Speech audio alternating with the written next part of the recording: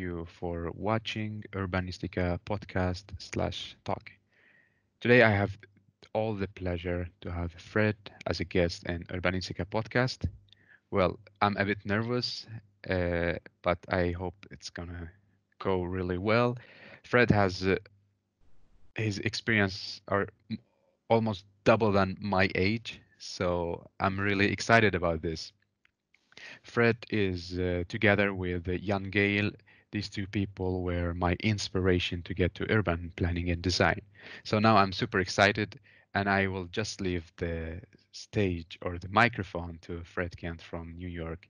Hello, Fred. Hi, greetings. Uh, this is very exciting for me. Uh, it actually comes at a very uh, important time in my career because 50 years ago, on the 22nd of April uh, 1970, I organized Earth Day in New York City. And uh, it began a long career of, uh, of doing something that I have to say I never knew what I was going to do next. It was always an iterative process. And I'll show you how that progressed, even through today. How what we're doing now is way different than what we did three years ago, is way different than 20 years ago, is way different than 30, 40, even 50 years ago. So it's a journey that uh, doesn't seem to ever slow down. Yes. Uh, it's, it's, I have to say, it's extraordinary. Yes. Uh, so part of that journey has been a family that actually, in a way, together, my two sons and my wife Kathy and I, um, we, my two sons, my oldest son at nine years old told me what I was doing, and the other one, and they grew up with me, and so they were free of a lot of the the um, of the kind of required uh, behavior, uh, so to speak, or going to a professional place and becoming a full professional.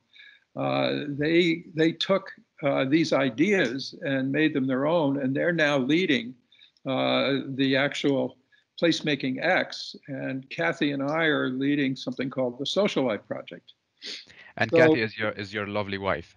Yes, and and longtime partner. Uh, uh, I could talk about her for a while, but oh, maybe at the end. So placemaking X just literally yesterday had a had a, a global call around with about 50 people uh, talking about the movement and how it's progressing uh, in every region of this world. This actually looks like the uh, the, the uh, virus map. Yes. It, it isn't. It's the, where these people are, where they're located, and they're all activists. They're all uh, pretty young. They're all uh, in the prime of their lives in terms of what they're going to be doing uh, as they go into the future. So it's actually a pretty amazing, uh, amazing experience to watch this thing grow way beyond anything that we ever imagined. And and uh, the term placemaking is a global term, and it's being used worldwide uh, by many many people. And in fact, over the last few years, we've been doing these uh, placemaking weeks. And there was just one in, uh, in Wuhan actually last year uh, that, uh, you know, so a lot of people that are part of this network all know the, the leadership in Wuhan. And so they're all very curious as to how that's going. Last year, there was one in Valencia, and they're, they're all over the world happening. There was one in Chattanooga last year. But this is the movement. And the movement, from my point of view, uh, really started on Earth Day because Earth Day woke us all up to the environment. And it actually woke us up not just to the nature and pollution and things like that, it also woke us up to community and sense of place and sociability. And it connected me with a group of people that I call the golden age of research on public life. Uh, and where I started working with this man, William Whyte, who set up the Street Life Project. And he was doing that at about the same time that Jan Gehl uh, was doing his uh, Life Between Buildings work. So there were two parallel efforts. Uh, ours was much more data driven at that time, uh, and theirs was more uh, experiential and and observation. And then we switched, we flipped it, uh, and we've been doing it differently. So here's Earth Day, and uh, I organized this. Wow. It, it's the the biggest uh, fake news story ever because it was uh, on April. It was April 22nd. It was the first day of spring in people's minds. Uh, we closed Fifth Avenue. The only thing I did was ask to have it closed. The city wanted to close it. They wanted to do something. John Lindsay was the mayor. Uh, it was a great opportunity uh, to, to showcase New York. And so everyone came out, million, maybe a million people, you know. But the real activity was down on Union Square where we had this pretty amazing uh, event that went on all day. Uh, this was a two-hour event at lunchtime. So, but it, it this picture went around the world and was uh, every newspaper in the world had it. So it really was a catalyst for uh, a really big change that then followed because it had the impression that there was a big following. Yeah. Uh, so uh, that's sort of when placemaking got started. We didn't call it that. Uh, but what we're now saying, and I'm going towards the to the end, is that we're now saying that placemaking is really the strategy for shaping the future of communities everywhere. And the impact on the planet is going to be extraordinary. And now with this uh, COVID 19, uh, it's even more critical. And I'll talk a little bit about that as we go through this. Yes. So um, there's some really interesting uh, evolutions going on. And the mayor of Paris is one of those that's really leading a very different vision for the world. Uh, and it's not just about nature, but it's also about the places we share. And that's really, we don't see that happening around. It's uh, the mayors are not into this yet. Uh, they, they will likely be, get there. But I have been totally influenced by about 10 people. And I want to just go through each one of them a little bit because what they said is the foundation for what, the work that I do, but I think it's the foundation for a whole new revolution in the way we shape our communities, the way we live in them, and the responsibility that we take for them. So this is a fellow who who uh, started Visa, and he says we don't have a welfare problem, an environmental problem, a crime problem, a climatic change problem, population problem, an economic problem. We don't have an educational problem. They are symptom, not disease the bottom we have an institutional problem and that's where the core problem is and until we properly diagnose it and deal with it all societal problems will get progressively worse so there's simply no way to govern the diversity and complexity of, of our society today with these separatist, specialist, mechanistic 17th century concepts of organization. So that's the foundation. And that's, I, I, think of that every day. And I just, I know that we've got to move away from that. And that's what placemaking does and what uh, it can do for everyone or communities around the world. So why we don't have better public spaces, it's fear, crime, narrow development goals, siloed disciplines, project-driven versus place-driven, design-led versus place-led, and government structure and regulations. All of these are set up to prevent the natural, organic ideas that people can have in their community. And I'm going to go through through that. And when we started working, there were very few disciplines. Uh, and we could pretty much deal with the traffic engineers and transportation people. I used to say, whatever a traffic engineer says, do the opposite, and you're building your community. And we got jobs to train traffic engineers. So you know, but then these others too. But and crime was an issue, was a big issue, but we would solve crime by adding positive activity to Bryant Park or Times Square or the Port Authority bus terminal. So we solved those problems by bringing positive uses, and that became the foundation really for uh, in the last 50 years after. Today we have all these disciplines, uh, and they're all terrific. I mean, everyone is really passionate. They're studying very hard. They're getting PhDs and all that kind of stuff. But the problem is that each discipline has become its own audience. And they have become silos where they have to be at the table for every kind of uh, transformation or change that occurs in a community. And if they're not there, then we don't get that kind of change. So, in a way, what we had to do, placemaking became a way to create systemic change because it was really about doing things quickly. Uh, and a term we came up with, lighter, quicker, cheaper, uh, was getting things to happen quickly and grow them with this with the uh, support of all these different disciplines. I mean, they're they're all wonderful, but if they're just stopping you instead of supporting you, you're not going to go anywhere. And so that's why we we will we will say and and here the, the communities today are really about all these separate entities. They they are not next to each other. They're not woven together.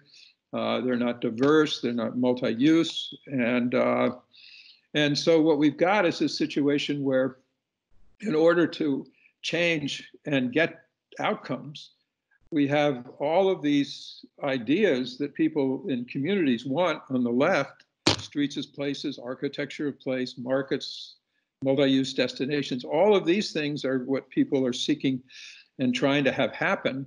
But the obstacles are government disciplines uh, and institutions. And so terms like transportation and mobility is about moving people around instead of accessibility. Iconic architecture is uh, awards given by architects for other architects. Institutional buildings are largely obstacles. The disciplines are all siloed in their fields, and government is determined by disciplines. And so we're not getting the kind of outcomes sustainability, resilience, climate change, mitigation, a healthy planet we can't get them because of this giant wall between them. Yes. So what we say is we have to turn everything upside down to get it right side up. get from inadequate to extraordinary. And that's pretty harsh, but uh, we started using that probably about 20 years ago. And it kind of turned some people off. But uh, what we began to find is that more and more people would say, yeah, that's right. And they would try to figure out how to do it turn it upside down and get it right side up. Today, I think this is almost a universal uh, realization that we really have been doing it wrong. And now with the, the virus we have and uh, the lack of sort of sociability that we can, can we can engage in, it's really a serious issue because we almost have a third catastrophe, and that's isolation and loneliness and depression.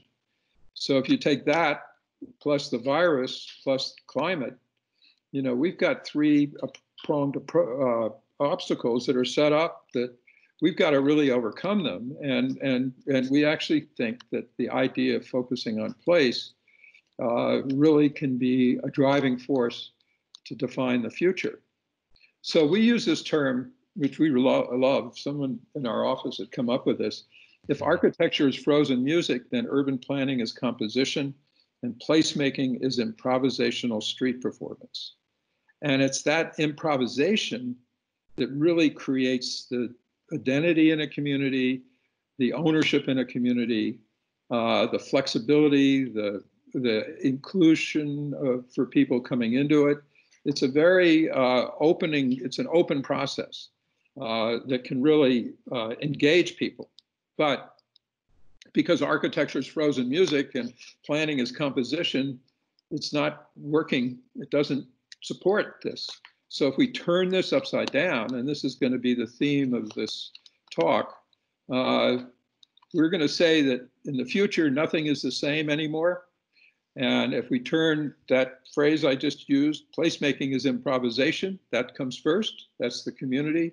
Uh, shaping and defining their vision, their future. Planning is a vision, so it's taking the the aspirations and, and opportunities that people and communities are trying to attain.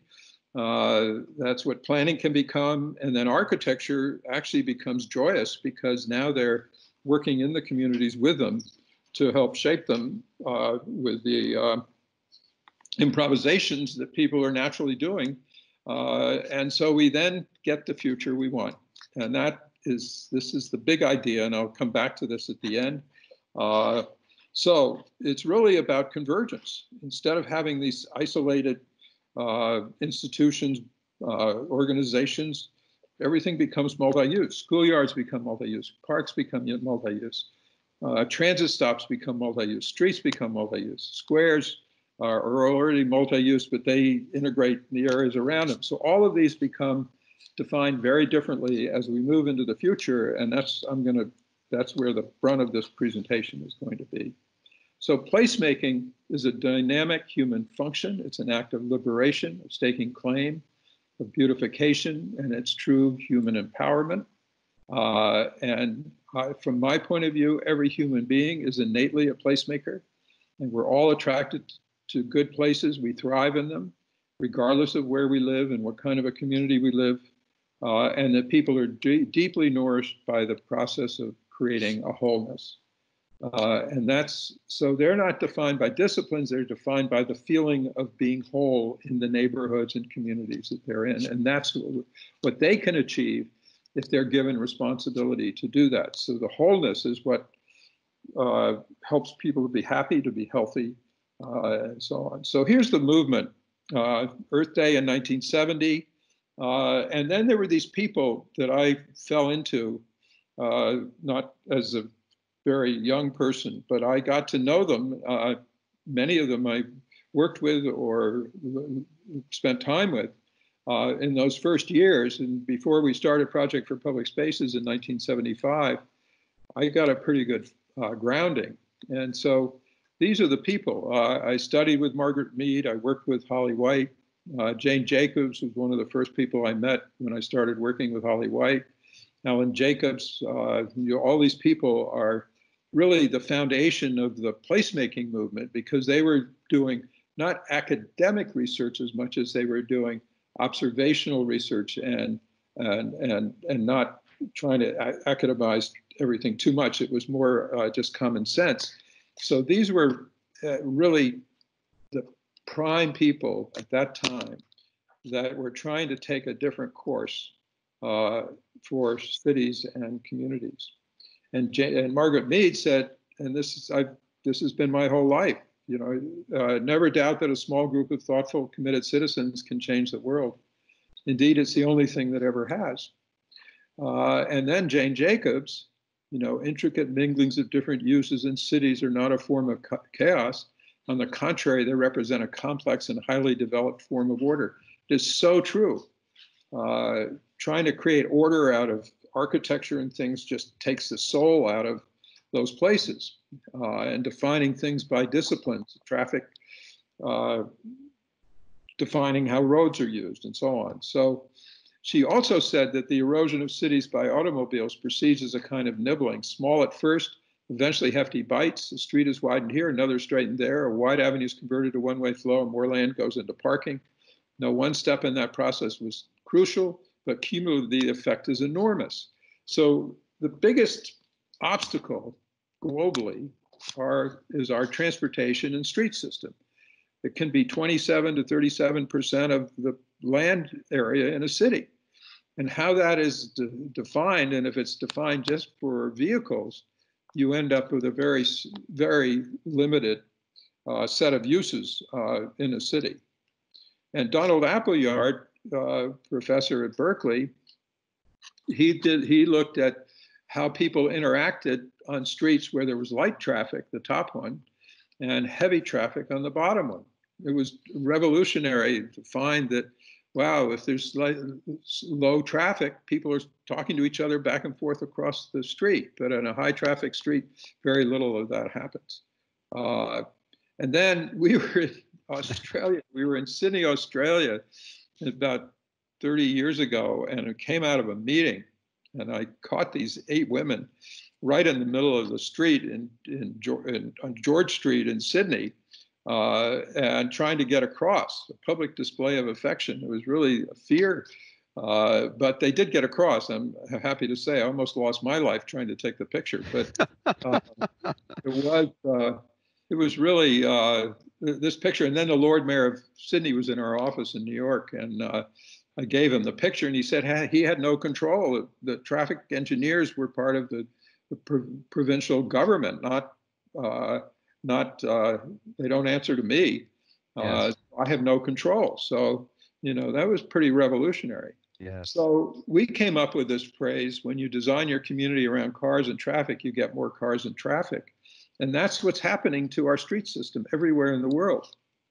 And if you change that and you say, wait a minute, maybe we should design our community around people and places, we'll get more people and places. Right. But no one is doing that. That's not part of, of any agency's uh, responsibility. And that's beginning to change a little bit now, especially because we have no traffic on our streets everywhere in the world. People are beginning to look at the streets as though maybe we should do something different with them uh, than what we've done for the last 70 years, just piling more and more traffic onto them. It doesn't get us anywhere, and and we come out way way less in terms of the kind of sense of place that we want to live in, and that's what I think people are finding today, as we are going through this horrendous uh, virus, uh, global virus uh, epidemic.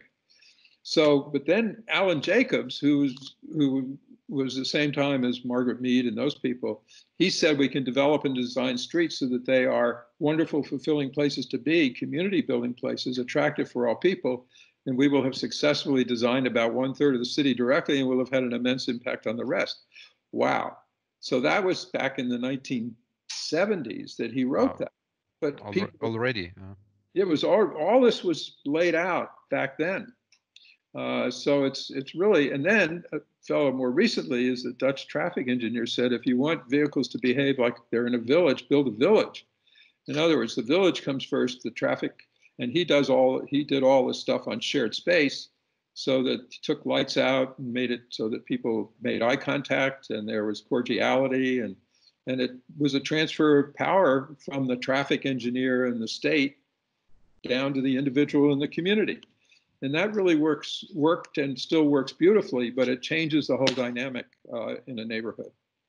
So, and then Christopher Alexander, he, he did something called pattern language, which maybe many people know, but he also made this quote, said this about people are deeply nourished by the process of creating wholeness. So what I my whole life has been seeing that people don't have that chance to create these kind of whole organic, dynamic, social sense of place environments, and that's what they want. And when they have it, they thrive. And uh, and so we're now right at that uh, breaking point in a sense. People are stuck in their homes and they don't go out. They can't go out. They can't. It's social disconnection is what everyone's trying to get them to do, uh, which is wrong. It should be physical separation and social connections in the context of having uh, the physical separateness. So why can't you talk across the street? Why can't you be uh, six or eight feet apart and have a conversation? Why can't you smile? Why can't you uh, nod? Why can't you wave? I mean, these are all things that are social life that we all have and crave. And we're now told that it should be a physical, a, a, a social separation. That's the wrong language. So, and then you get Jan Gehl and Holly Whyte. You know, nothing in the world is more simple or more cheap than making cities that provide better for people. That is so true because it's so many little things that add up. It's the lighter, quicker, cheaper that make the place really work well. Uh, and then Holly Whyte, who I worked with, he says, I end in praise of small spaces. The multiplier effect is tremendous. You can imagine this. If the more places you have, the, the, the better opportunities you have. There's so many things that wrap around this. It's not the number of people using them or the larger number passing by and enjoying them very vicariously, or even the larger number who feel better about the city center for knowledge of them for cities, such places are priceless, whatever the cost. They build a set of basics and they're right in front of our noses if we will look. So that was that's my whole career is looking, observing, understanding, and helping to shape uh, for people in communities. It's really community organizing. It isn't defined by a discipline. It's defined by creating a place that people feel whole and comfortable and alive, engaged, and and and their lives are have a purpose to them. So Holly Whyte, he was a, he was really good at creating phrases, and this is one. It's hard to create a space that will not attract people. What is remarkable is how often it's been accomplished. Uh, it was actually the Boston uh, City Hall Plaza in Boston, and it's exactly the same today as it was 50 years ago. Uh, and then he also said, if you want to see the place with activity, put out food. So one of our great pleasures is observing people eating ice cream. Uh, and we take pictures and uh, there's one eating French fries. So those two are people go buy the ice cream and they all sit there. The problem in the guy on the left, he doesn't, he's not quite in unison uh, with the, the other three. Uh, and then this is just an amazing picture because if you look at it, the only person that doesn't have ice cream is that little kid. And I said, "Oh my God!" I said, "This is amazing." So then I got it. I got ready. I took a next picture, and there he was looking at me, saying, "You know that I don't have ice cream." So blah. uh, so that was. I mean, that's it, that's what it was. So, and then one of the best things about water is the look and feel of it. It's not right to put water before people and keep them away from it. Uh, and so when you get these places that people just can't stay away from, uh, they come and the joy is so great. And then this is wonderful because, you know, benches are artifacts, the purpose of which is to punctuate architectural photographs. They're not so good for sitting. So, uh, you know, and that's what they do all, all around the world. Uh, seating is just sort of the last thing people think about. And so there's a real uh, a desert of seating that that and people are finding this out now when they're walking more than than uh, driving. Exactly. Uh, there's no place to sit, and so those cities that that are comfortable and that think about this are the ones that are going to thrive in the future. And so when you get a bench that's nine foot long and one that's four feet, it's very hard to get more people into a four foot bench than there is a nine foot bench. Uh, if you have movable seating, people will even stay in the rain. Mm-hmm. Affection is is something that happens in good places, uh, and and that's always a sign that that that people are happy and comfortable. Uh, these are th- three generations of women giggling on a bench that someone donated in a town in California. Uh, and when people really get comfortable, they take their shoes off.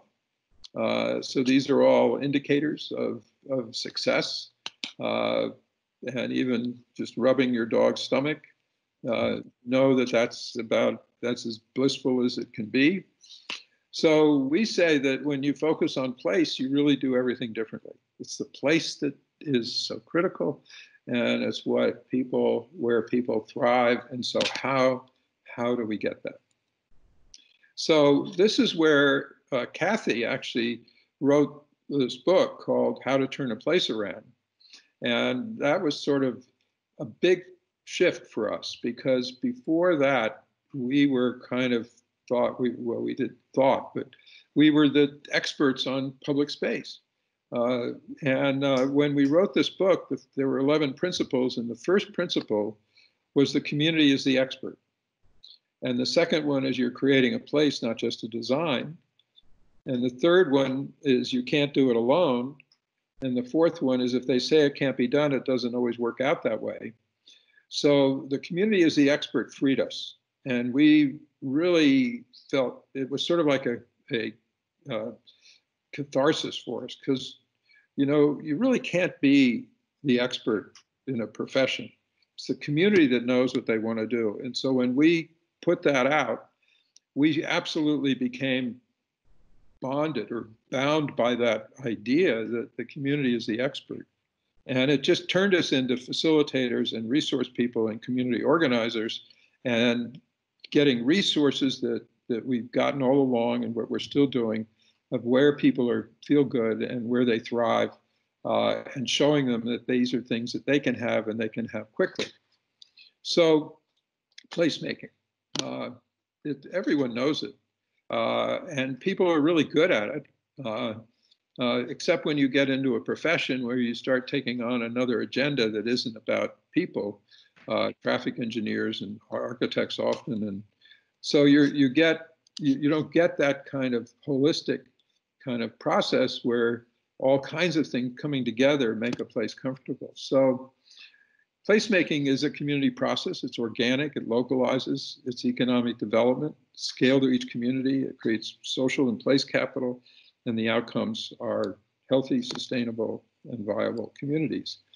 And this, I won't go into it, but it's uh, very much, but the benefits of Great Places, it builds democracy and civil society, promotes health, renews downtowns and neighborhoods, it nurtures a sense of community, it builds local eco economic opportunity, brings diverse people together. Those are fantastic goals. And so that's really the goal of, of, of, of everyone's place should be something like that. So when we started working, one of the things, this is a very old photograph, as you can tell, uh, with Holly Whyte, I uh, did a study in the day of the life of a wastebasket there. Uh, and uh, uh, it was really quite interesting because um, what happened is uh, is that a um, that wastebasket has a flat top with a hole in it. And this, I was taking time lapse photography, and this man came along with a newspaper, put it into that throat. And then about three minutes later, another man came along and pulled it out, looked at it, and didn't want it, put it back in. And then five minutes later, someone in a suit came and just took it. And so there was sort of a recycling yeah. there, way the wastebasket was designed. And then this, just a little further down the block, was this uh, antique shop. And you can see where the window is canted, so the people walking by on the inside were would see the window more easily. It was next to a bank. I went in there, and the man who owned the store, I asked him, said, "You must like your your location because there are 39,000 people walking by here every day." uh, and he said, "No, I don't because I'm next to a bank, and people start walking faster." when they go by a bank, and he says it takes them two or three stores to get back into a window shopping rhythm. Wow, that was that was a revolution. Yes. Uh, and I never stopped thinking of that. Um, and that's what the street looked like at that time. There were probably 20 businesses, uh, some on the second floor. Uh, it was as busy as it could be. It was crowded. And then what happened, like so many other blocks, took the life out of it. It became that. So this became that. Yeah. And like my is, city. It's it's just it's a disaster. It just takes, it means you come to the, into the building, but you don't do any of that kind of wonderful kind of street life, street activity. And there's a whole lot of other stories that I learned by studying that block. And then this in New Haven uh, was one that we were, we were actually asked to implement and work on. Uh, and so this is a key corner across from Yale University. And uh, we put a plan together to widen the sidewalks. And the upper is what it looks like as they were doing the construction. And we took the corner and bulged it out and created a destination there. And Yale University is right across the street. And we narrowed the lanes to nine feet so that the traffic went slow. Uh, and this is what we ended up with a great social gathering place right at the entrance to Yale University. And that, and then it sort of went down the down the block. But that that hasn't happened very much. Uh, and, and it really should be happening at every intersection. And then this is something that Kathy and I were in Munich and uh, looking at the a market there, the victual market, and we started noticing something. We were there during the night when there was the stores weren't open, and that uh, tree guard was there. And then the next day we came and someone put out these two boards, and uh, it was amazing. I mean, you could see a, a, more ugly, grubby looking thing, but people sat on it. And it was right between a uh, uh, juice bar and a soup bar. And so this was the connection between the two. And guess what?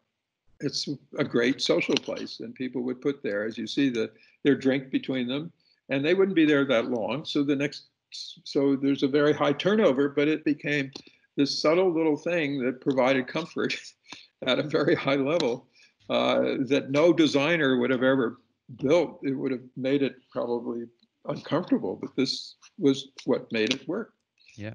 Um, and then the big, I'm going from that little, those little things collectively in a in a market or on a street are what bring a, the street alive. And in Detroit, we were uh, we were involved a lot. I'm not going to go into it. There's a there's a longer story, but uh, this was the biggest change globally in the last 75 years. Wow. Without hesitation. Nothing has happened at this level of transformation anywhere. Maybe except in Europe, where cities were totally bombed. Uh, they might come back, but that was 75 years ago, I guess. Yes, yes. So, but this happened uh, 10 years ago. Wow. So, Detroit in 1917 uh, was this. Was, this is one of the busiest cities in the United States. And this is the center of Detroit, streetcars, all this stuff. And that monument there in the middle did not move because in 1999, that's the monument. Wow. So go back there, and everything disappeared around it, and we got that in 1999. Now, there's some things that happened between then and 2012 uh, when we did a placemaking vision for downtown Detroit. And this vision with Dan Gilbert, who owns Quicken Loans, uh, he bought 95 buildings, and his whole approach was lighter, quicker, cheaper uh, activations. And he couldn't put any retail in the buildings, they were all empty. Uh, and so he had to work on the public spaces. So he activated the public spaces uh, on a lighter, quicker, cheaper uh, process, just doing things. And the first thing we did was a vision for downtown Detroit uh, in 2013. And we built it, or we didn't, but they built it in, in there. And this is the result. Wow it's just a phenomenal transformation. Um, and what we put in the center of Detroit was a beach. Uh, and uh, and that's what it looks like today, uh, and in the at nighttime. And this is the beach around the monument. Uh, and these are the games. So this is all program driven. It's you know the it's color, it's programming, it's really it's not a kind of high design at all. It's program, which is actually more design because there's so many aspects of all of these things: beer garden uh, and market stalls, temporary market stalls. And so this became the center of Detroit, and Detroit is on a renaissance, and this is a renaissance like nothing anyone has ever seen in any city anywhere in the world. It's really quite quite extraordinary. And this is Dan Gilbert playing with a, a local piano player uh, together. And then we worked on the rest of the downtown. So now we're we're back. We're up to where uh, the the placemaking movement has really been launched, and uh, which is in 2013. And we set up something called the Placemaking Leadership Council. Uh, uh and uh, and so now where we are, and this is where we're, I'm jumping ahead to where we are right now with something we call the Social Life Project and PlacemakingX. But there, in, in all of our work, we've began to realize that there are key uh, activities that, if collectively done, can transform cities everywhere. Uh, and they really are a whole series of, of activations, and there are things like bringing a public square back, using markets to strengthen neighborhoods, turning streets into places, applying design as a tool for creating destinations, spawning new community hubs, capitalizing on the appeal of waterfronts, expanding cultural destinations, uh, strengthening assets that express a city's character, and highlighting a community's identity by creating great amenities. So I'll go each to each one of these a little bit just quickly to show you know, when you bring back the public square, we don't have a culture of squares uh, in the world. Historically, in Europe, there were squares because of the way the streets were, the, the cities were laid out. Uh, and today, we really don't. We use parks as the public gathering places, but squares are really the most important because they're totally dynamic and um, and and program driven, flexible, managed. Uh, and that's what we did in, in Detroit there in Campus Martius. But we also did this in Harvard University, where this is Harvard Yard in the middle and Harvard Square on the left and the Harvard Plaza on the on the right. And uh, in one day, after 350 years without any amenities in the middle of the of, uh, Harvard Yard, uh, we put out chairs and tables. And so that was absolutely transformative. It changed the whole uh, whole feeling of the university because now people in the community could come in and sit. Uh, and and it had become uh, co-ed, so there was it was a totally transformation. And then we worked on this, which was an empty plaza, and created uh, the square, which was um, highly programmed with food trucks and amenities and games and so on. So those are catalytic opportunities at a university, and you can do those in a lot of places. So the next idea was markets uh, to strengthen neighborhoods. This is a really big deal because markets are incubators for small businesses, for connecting people with other people, for sharing skills, uh, creating local jobs. And so you get these kinds of markets, and this is in Seattle, Pike Place Market, which is a legend and a, an anchor in Seattle. Uh, and uh, all these things are going on, and it's one of those places that everyone visits all the time. And there are markets all over the world like this um, that are our main centers of activity. But the idea of doing small neighborhood markets is one where you can really bring people into it, and small jobs can be created, and social action activities can be uh, heightened. And then turning streets into the places, I talked a little bit about this before, uh, repurposing space for people in intersections, street corners, city blocks. All of these things are game.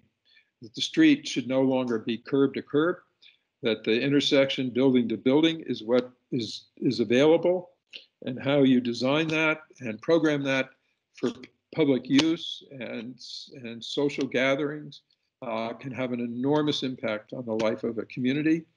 Uh, this is actually in Buenos Aires, where uh, this is a street uh, in the morning, and and then during the day it becomes almost impossible to drive through. So it becomes the the square, the neighborhood gathering place in that in that neighborhood. And this is a place in London where beautifully designed, but the, it's not about cars. It's about people and people being able to be in the street and safe and comfortable. Uh, and how do you design a uh, neighborhood to be safe? You change the whole structure of a road. When you come into the neighborhood, you change it. Uh, you have wider sidewalks, and there's so many opportunities and such a need for changing the whole way transportation is is uh, uh, uh imply imposed on us in our communities. And with this uh, COVID 19, we're all realizing that, boy, it's nicer to walk down the middle of a street without any traffic than it is on a narrow sidewalk. Uh, and so people are, you see these little things going on all over where people are, want the streets back and not just this massive amount of traffic just destroying our neighborhoods. And then architecture as a, as a tool for creating a sense of place, it's really rare that you see really good uh, design that's human and it's human scale, that's social. And, uh, you know, one place is Miami Beach, uh, where uh, you really, you, the buildings are, are, are, fairly short, they're colorful, the, uh, the, the porches are set up a little bit so you can see down as people go by. You literally walk by uh, in the where people are eating. Uh, so it becomes really quite an experience for everyone. And it's that kind of openness that uh, really is good for the future of architecture. And then new community hubs. Uh, in, in Perth, Australia, we took this uh, cultural district and we turned it into a, uh, and this was done by a local uh, television broadcaster who was, had a lot of interest in plants. Uh, he did this and he took this place in the lower corner there and turned it into that, and the whole place was transformed with similar community uh, uh, activists that came in and took this cultural center and turned it into a major destination uh, in Perth. So, capitalizing on the appeal of waterfronts, uh, this is something that's going on in many places in really rich ways. We just got back from Brisbane, Australia, working on their waterfront. Uh, but Porto probably has the best waterfront in the world.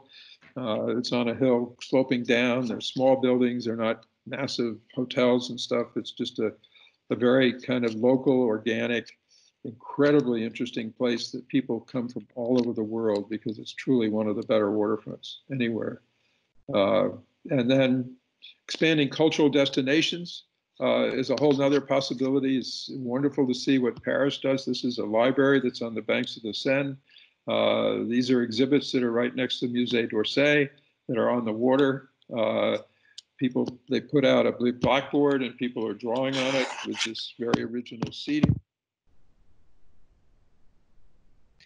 I cannot hear you.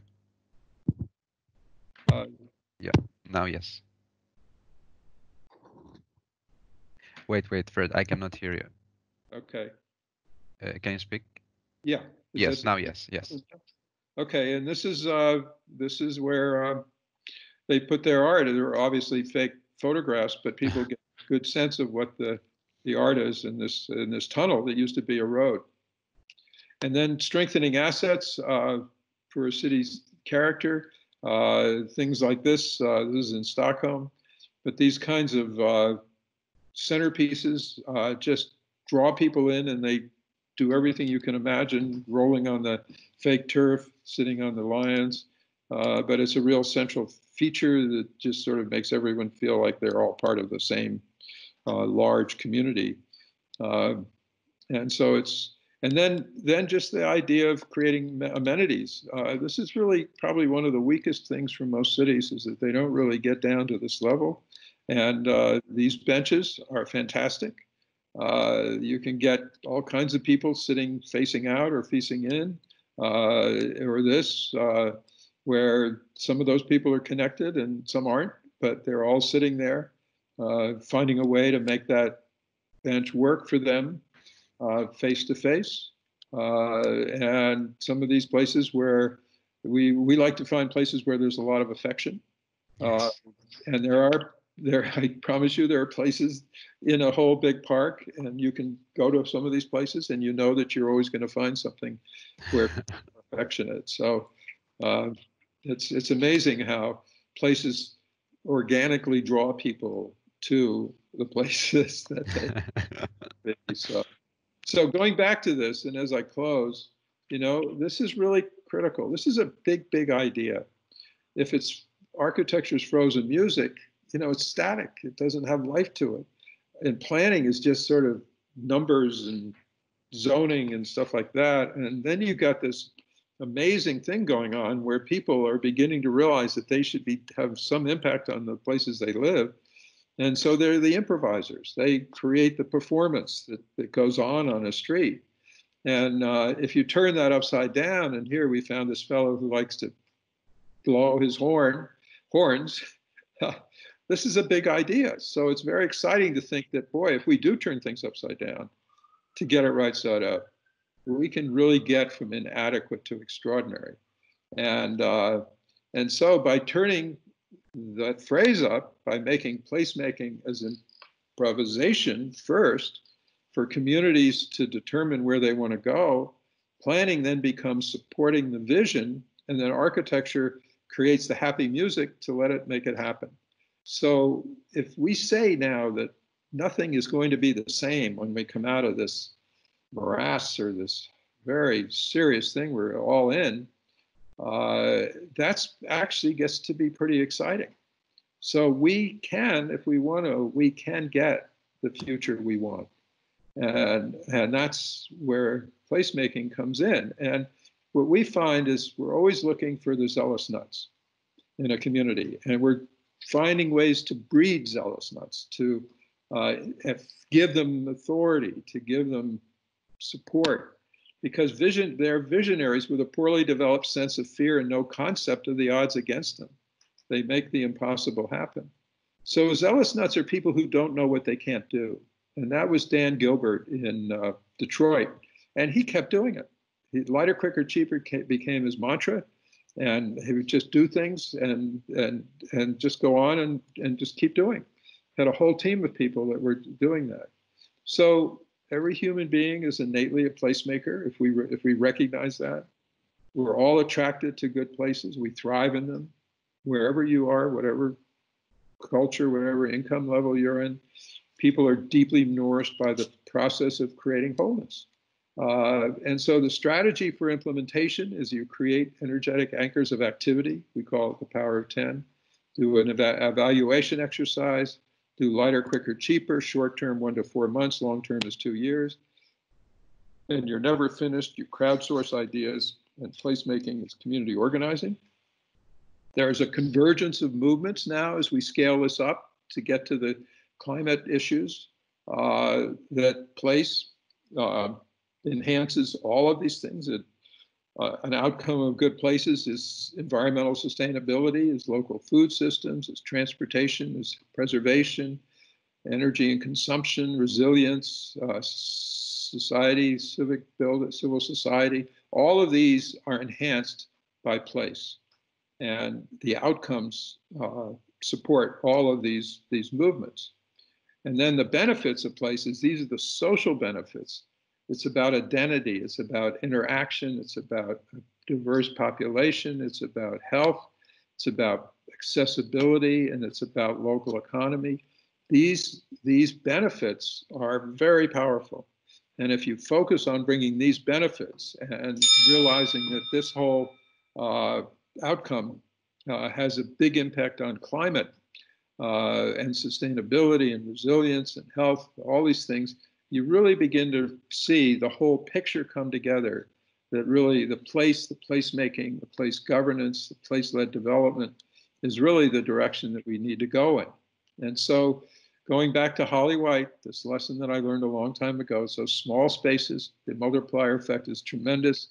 They're all there, they're right all within eye if we just if we just look uh, and so our, our social life project, Google it uh, and look at this, the global catastrophe will be solved by local communities. That's what we believe, and we believe that's really the only way to go uh, to create a planet that we want to live in and be proud of in the future. So these are the organizations that we've set up in the last couple of years. Uh, they're global in nature. Uh, they're networked. So it's no longer uh, us as an organization, it's us as a network, uh, sharing, working together with people all over the world. And it is one of the greatest pleasures of my career to be able to very comfortably go anywhere and just find these enormously creative people trying to do things, finding ways to help them, show them something, uh, report what they're doing, they're all over the world and they're all uh, working together to create a planet we want to live in and communities that we want to be part of. Well, uh, Fred, thank you so much. It was so inspirational. It's to be honest, it's a, it's a treasure. This this presentation is a, a big treasure. So thank you so much.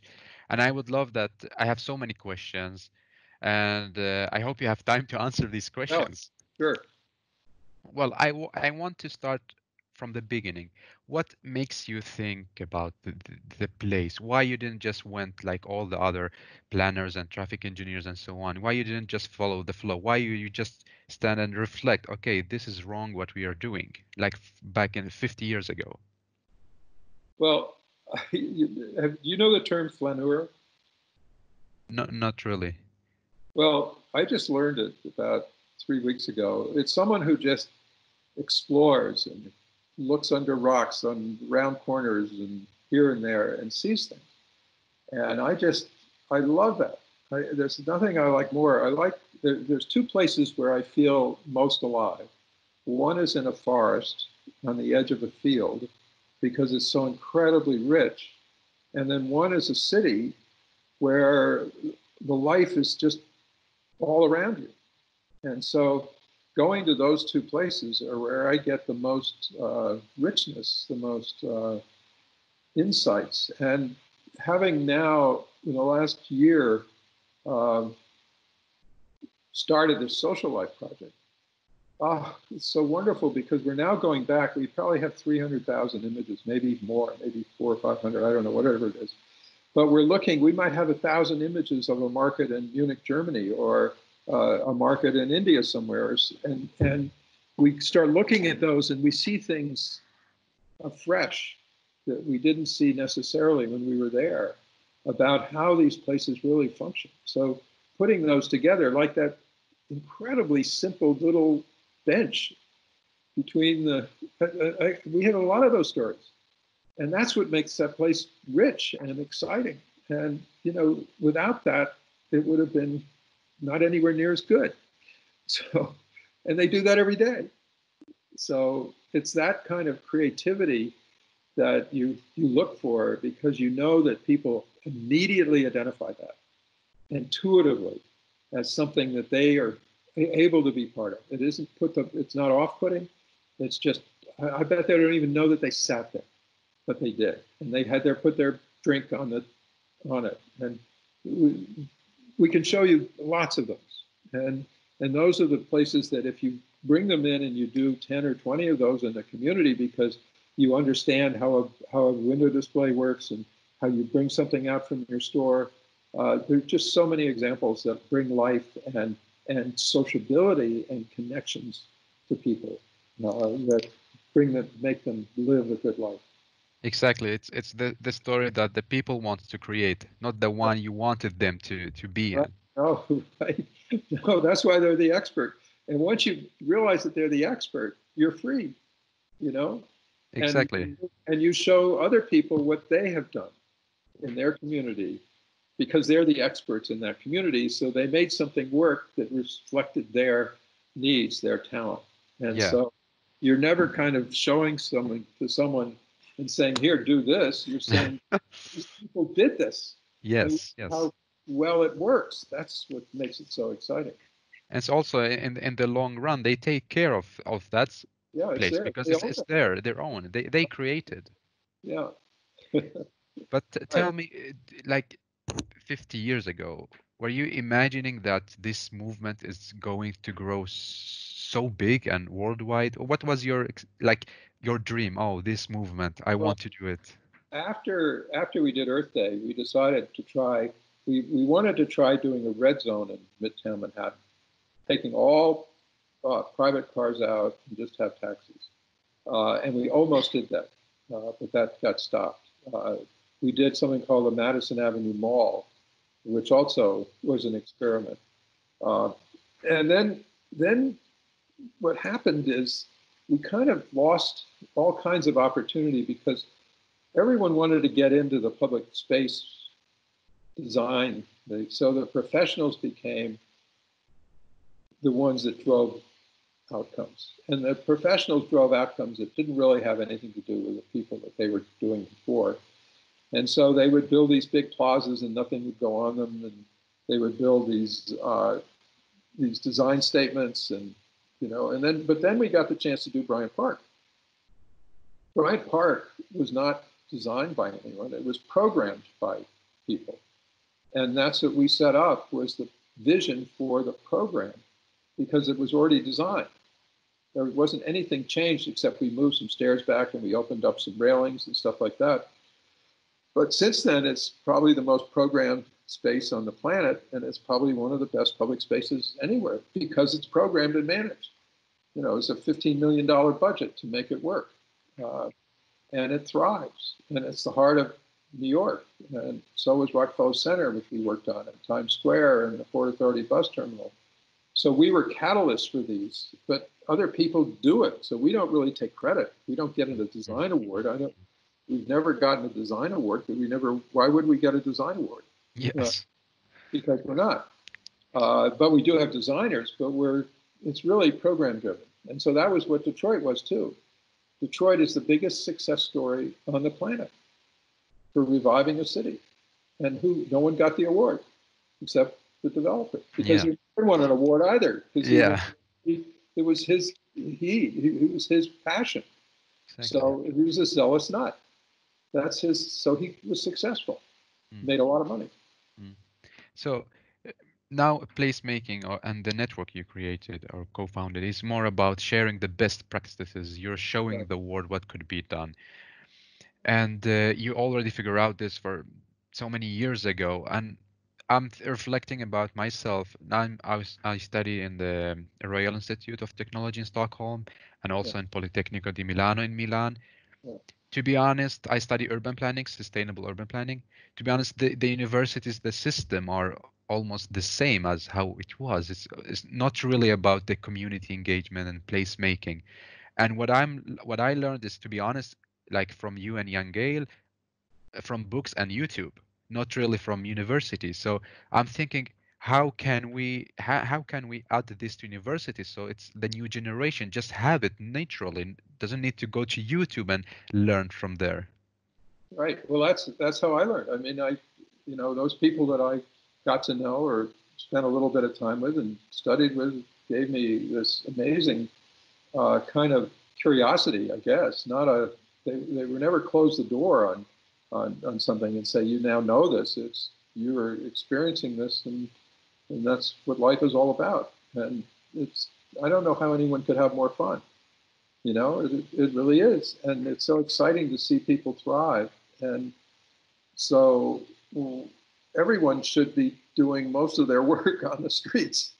And then, you know, that's why turning it upside down to improvisation and planning is not, and architecture is happiness. And, you know, so that's how to, how to instill that as the future, not this, the ego, the iconic garbage that we get. Uh, so it's really a revolution. And Yeah. maybe just at the point where it becomes what we all want. Yeah, but do, do you think that it, this should stay as a movement and network? Shouldn't it be like a more like official in the education system?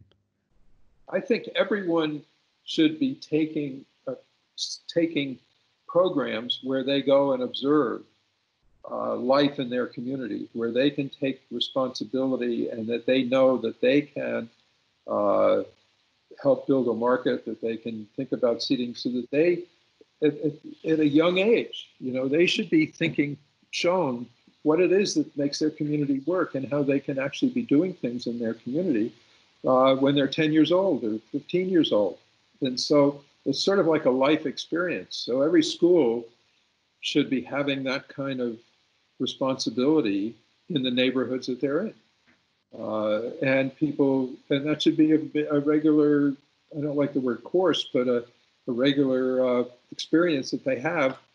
Uh, and why can't five year olds, I mean, I don't mean five, but 10 year olds Yeah, or seven year olds go out and do some observations and start talking about what they like and don't like. Kathy did that with some a school in Manhattan, uh, you know, many years ago, and they were brilliant.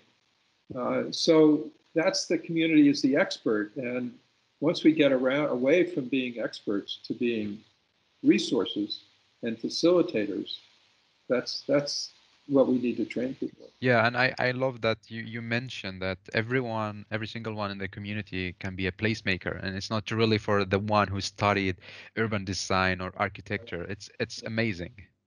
Yeah, but if you're if you are good at design and you start working, you can do wonders. I mean, designers are, are critical, but in the way of making people happy. And, Yeah. You know, and making buildings come alive. And why do we build? Why are we building museums which are in these monstrosities when they should be both in and out? You know, almost like warehouses and open to the to public and things going on and markets and creating the markets around them. I mean, so that everything is woven together. hmm And uh, Fred, I noticed that also you're a great photographer, but also your pictures, every single picture, there, there's a people in, in the picture. What, what, what are you, are you passionate about making, looking to people, observing people? Uh, people's expressions are so powerful, and you you know when and I can we immediately Kathy and I just immediately sense where when we can get a good picture. You know, the joy on people's faces is if you want to show. You cannot, you cannot tell people something, but you can show people the joy, and that's that's the message you're getting across. The language, the writing is can be supplementary, but you know, and that's what Holly Whyte did. He was helping people to see. You know, that was his his skill. He would show people what he would tell people what he was going to show them, show them, and then tell them what they saw. And wow, so that that changed their way of thinking. You couldn't see a movie. Uh, I mean, you couldn't see the same way. In fact, we went and met with Robert Redford once, uh, the, the actor producer, and he said, I learned so much from the film because it was real. Yeah. And people know when things are real. So. Yes. And I was wondering why you're enjoying more having a network instead of organization. What what what's the difference for you? So different. It's so much fun to be uh, working with three people over here and seven people over there, and you know, you're just uh, uh, you know, we're working with some people who are in, in Italy now who uh, moved to Italy and are writers and urban designers, and they're seeing much more about the life, and so they're writing about it. And uh, you know, so we're getting to meet, we're getting to be with people we love, and not having to run an organization and get contracts. You know, it's so much nicer because we can get paid, but yes. uh, but it's not you know, it's not. I don't need a four hundred thousand dollar contract. Uh, you know, and, mm-hmm. and we actually don't like to charge for our work because we're having too much fun. yeah, and how how is it? Uh, before when we call each other, you told me that uh, now you're home for two weeks. How is how is your experience about the the COVID nineteen and everything? Because this is okay. This is a um, a special time in history what is your reflection because your your your love is in the city you you always want to be in the city well we you know we talked to someone yesterday who has a place out in the country and it's on a rural road and all of a sudden instead of driving somewhere they're now walking on that road so they're seeing people they've never got to know before and they're on one side of the road and the other people are on the other and they stop and talk. So even in a rural community you know you can create these social connections. And what's going on here is the same thing is that we're talking to people.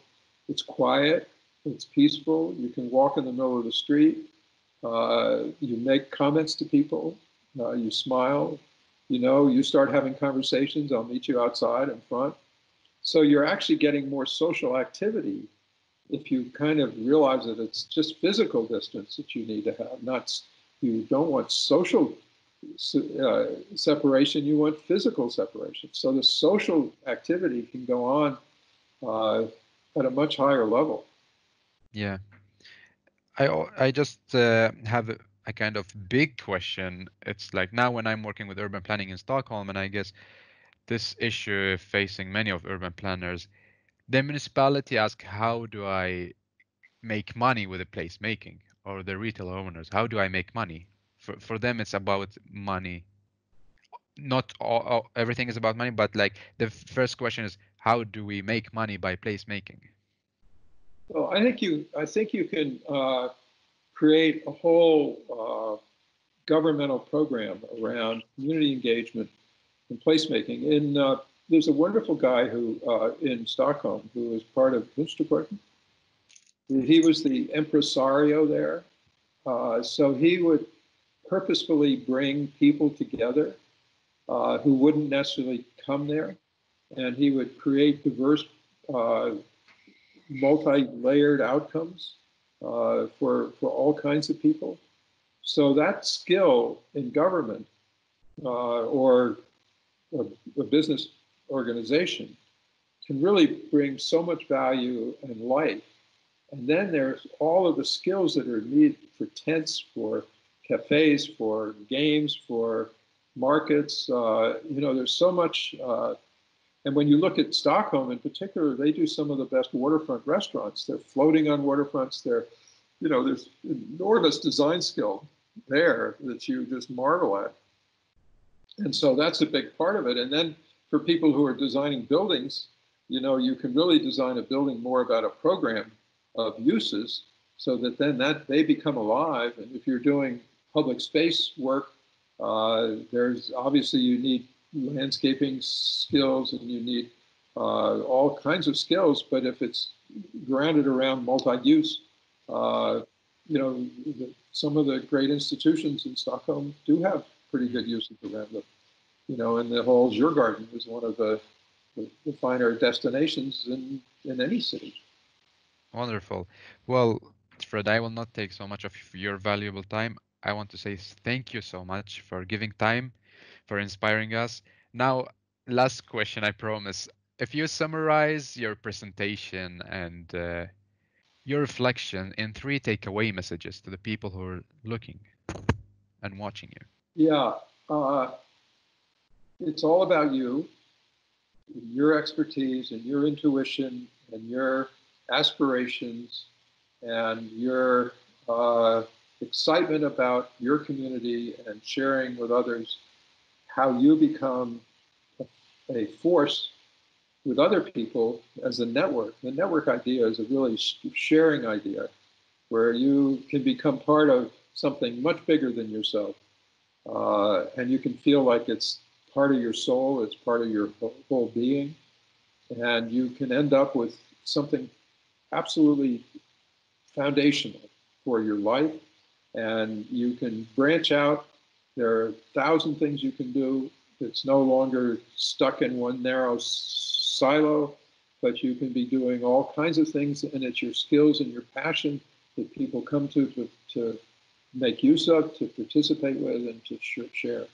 So it's a it's like if you say you have to know what you're going to end up with, I would say you're wrong, uh, because the journey is something that will expose you to things that you would never have expected, and your life will be so much fuller uh, and so much more rewarding. And your participation and presence and impact will be collective and, uh, and, and exceptional.